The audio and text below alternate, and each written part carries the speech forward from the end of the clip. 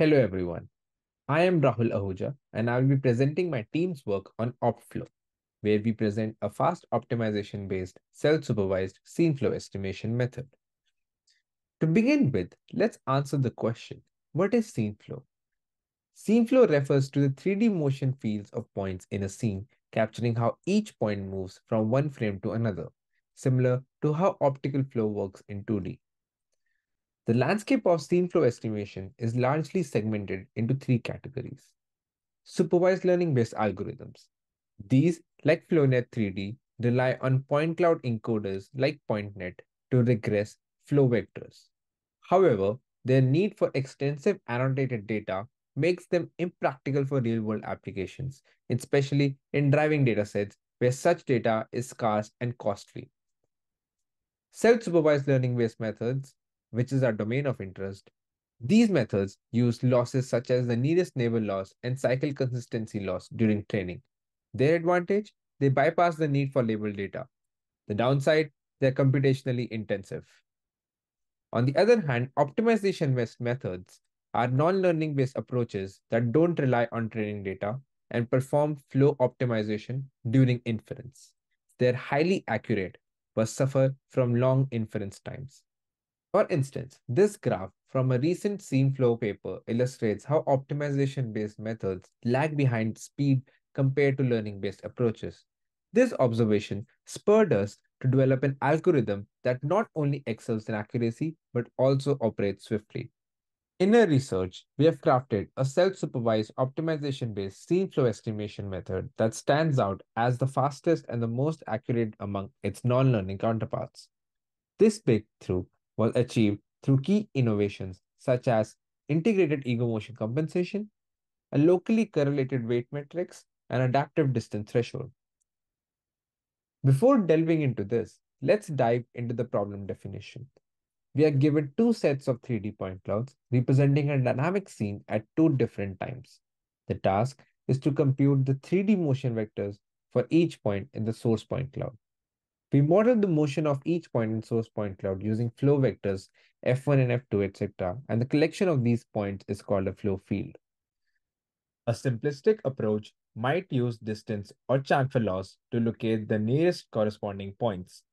However, we have gone further as this alone won't be enough. Let's see how we can improve it. In real-world scenarios, such as autonomous driving, the majority of data points are static.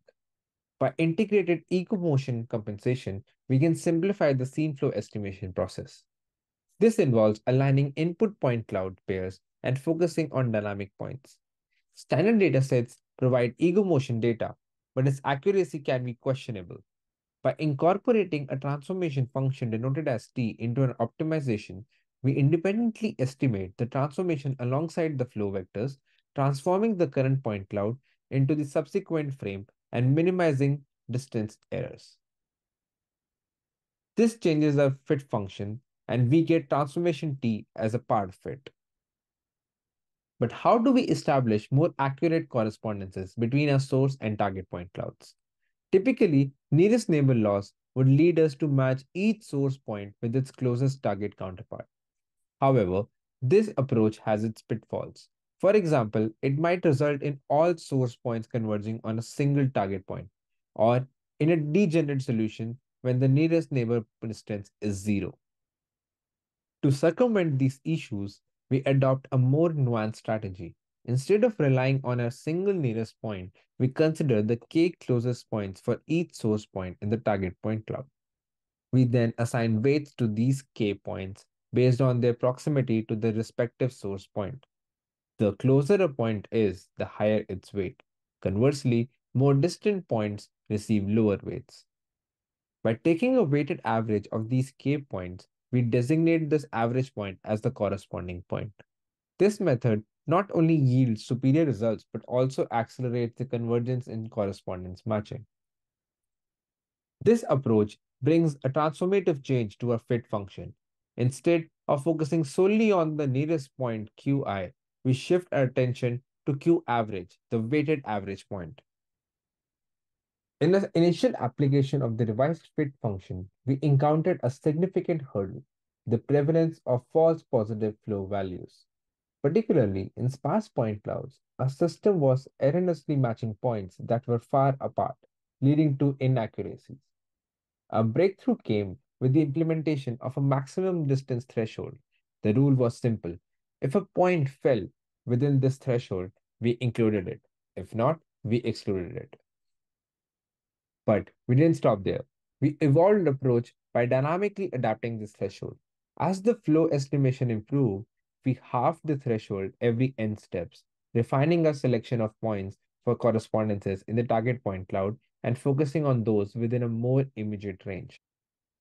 With these adjustments, our objective function underwent yet another transformation, which looks like this.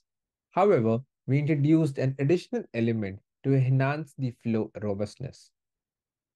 The rigidity constraint loss. This constraint ensures that scene flow vectors in close proximity to one another maintain as much rigidity as possible it's a critical factor in preserving the structural integrity of the scene flow estimation.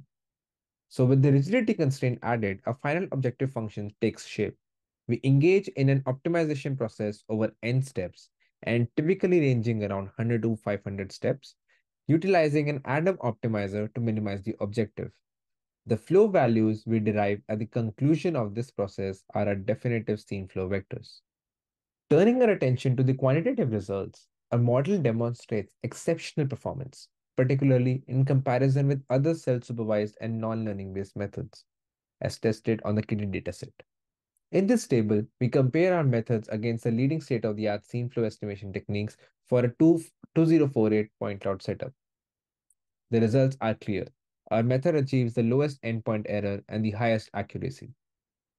When we extend our evaluation to the full point cloud, our methods maintain its superiority, especially when benchmarked against non-learning based methods. We didn't limit our testing to KITTI. Evaluations on other popular autonomous driving datasets such as Argoverse and nuScenes also placed our method at the forefront in terms of accuracy. In the critical balance of speed versus accuracy, our method outshines all other non-learning based methods, achieving faster speeds without sacrificing accuracy. In fact, when compared with the current best non-learning based method, the neural scene flow prior, our approach is seven times faster in processing a full point cloud while maintaining equal or better accuracy. To visually illustrate our findings, consider these scene flow images.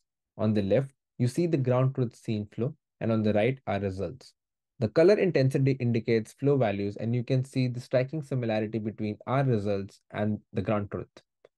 Zooming in on a vehicle, the colors represent different timestamps, with blue indicating a projected point cloud aligning perfectly with the target point cloud in green. We have additional visualizations demonstrating how our method accurately predicts flow vectors for each dynamic objects in a scene. Furthermore, a method can be employed to densify sparse point clouds, for instance, in this scene, a method not only densified the point cloud but also successfully processed a walking pedestrian, a task that other scene flow methods struggle with. Another application of a method is in segmenting static versus dynamic points. Here, in this bird's eye view, we highlight how dynamic points are clustered and segmented. In the right, we can see a video sequence further illustrating this. Dynamic points distinctly marked in red. Thank you for your attention during this presentation. We invite you to delve deeper into our work by checking out our poster.